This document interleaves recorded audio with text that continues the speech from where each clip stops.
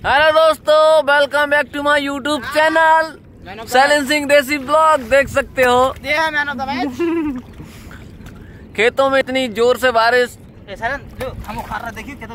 तालाब भरे हुए हैं हमारे यहाँ के खेत देख। सकते हो। बुवाई के लिए काम चल रहा है चालू पानी निकलेगा। लेबर लगा के रखी है हमने।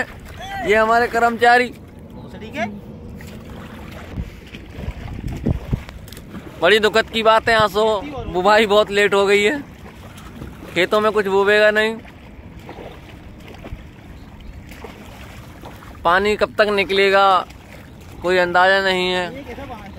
देख सकते हो, चारों तरफ़ पानी इतने तेज आ रहा है कि क्या बबेगा, कुछ नहीं। देख सकते हो। कट किया, खेत में अभी पानी निकलेगा, इसके बाद बुवाई होगी। देख सकते हो सामने पड़ा हो सैलन नो यार रहा नहीं जी अरे